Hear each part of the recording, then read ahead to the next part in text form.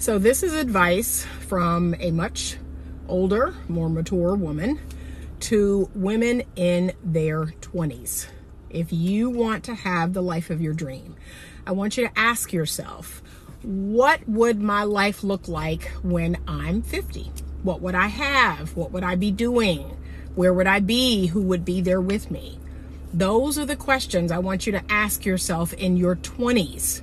And I want you to reverse engineer the decisions that you make, the choices that you make, so that you can have the life you really want in your 50s.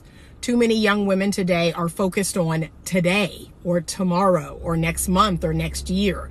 I need you to think ahead 20, 30 years so you can have a really good life. You can make sure that you're making choices today that's actually going to lead you to a life that you want to have when you're older.